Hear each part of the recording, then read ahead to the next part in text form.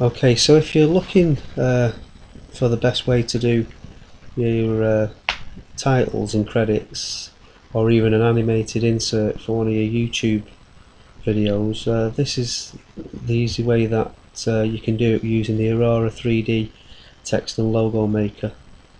Now when you first uh, open the program, this is the screen that you're welcomed with and you can choose from any of these templates in front of you and you can modify them to suit your own application. Uh, you've got other logos. These logos are animated. If I click on one like this and then press the play button you can see this is all stuff that you're able to do using this software the Aurora 3D Tech software. What I'm going to do now though is I'm going to show you how to uh, how to make an easy animated uh, segment for one of your YouTube videos. First thing you need to do is choose a back. So if you go up here to setup and go to background and image there are loads of different things to choose from but uh, there's animated ones also but we'll start off with eat something easy for you. Go to choose a background that you want. You can get rid of all this, we don't need this, this is all from the previous one I showed you. You can keep them if you want. I mean it's, uh, entirely up to you. But I'm just trying to show you from scratch. So that will be your background that you'd start with. And then over this side here, these are the styles of font if you like for the text you're going to insert and it's it's literally as simple as picking a text that you like okay we'll have something like we'll have something like reflection. Click on reflection and then the easy thing to do then is double tap and you can go in there and just delete the text and type in your own. Like that. Click on it again and you can resize the T with the arrow the yellow arrow that allows you to resize the text. If it had a border around it like if you go up here and put a border around it just the yellow arrow would size would allow you to size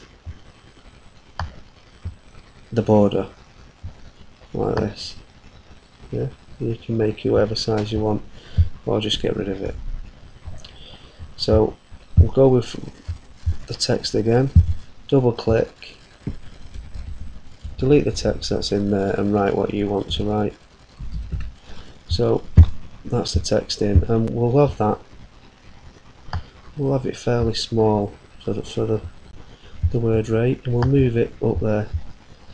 Now for what we're going to do we're not going to need the reflection but if you do need the reflection for re reflection you go into design tab on the right hand side here you click in there and right at the very top you've got reflection you click this and that'll remove the reflection. If you wanted to keep it well then what these do these give you the options to where you want the reflection to appear and at what strength you want the reflection to be shown.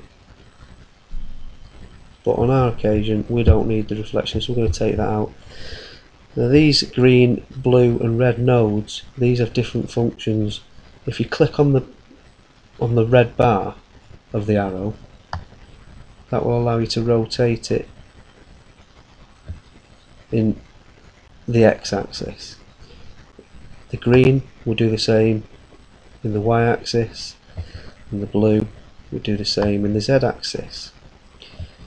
If you go to the points on the end of each one they just allow you to move it in the direction oops, that those arrows are pointing and then you've got the blocks in the middle. When you get them they expand each word in the direction the arrow's pointing. So on this occasion what we'll do is we'll we'll rotate it Which, that looks about right. Let's leave it there. And then what we can do is we can animate that. Click on it.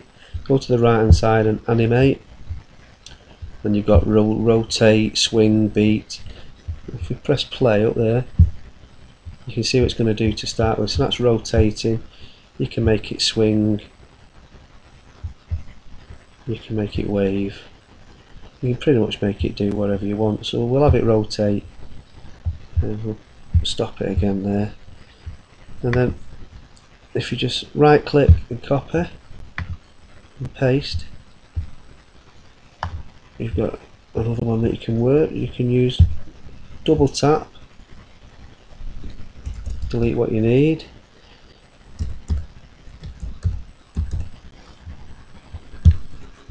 That's a nice big one then. Big word. So we'll change the, the angle of this because we want them to be a bit random. Yeah let's let's try that. Let's have it about there that can stay big. And again we'll we'll we're in that we've we've highlighted that one so we can have that one rotating now.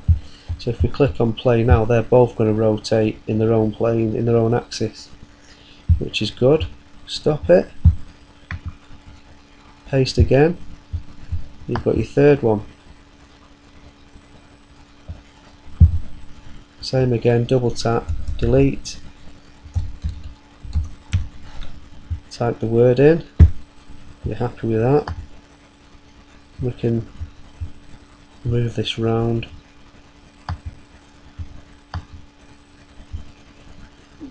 Change it up this time. I think this occasion we'll we'll reduce the word a bit. We'll make it a bit smaller. Move it over here. Yeah. That looks okay. If you play hit the play button they're going to spin like that now that doesn't look very much at the moment. But if you wanted to do a few extras you come over to styles again on the right hand side and then you've got these other icons where you can insert all these shapes different paints. Yeah. If you go to light though it allows you to insert bolts of lightning or stars or constellations anything you want. So we'll click on one of them same principle as before. Size it to the size you want. You can have it however you want it and then move that somewhere in the picture. Copy and paste again. We'll have one over here again. You want them a bit random. And copy and paste again have a third a third up here I think. And then all it's a case of doing is holding control highlighting everything that you've done everything that you know you've added. Right click and group. Yeah click on the page to get rid of the, the box. And now when you press play you've got a fully animated rate comment and subscribe so if you like that please rate comment and subscribe. Thanks for watching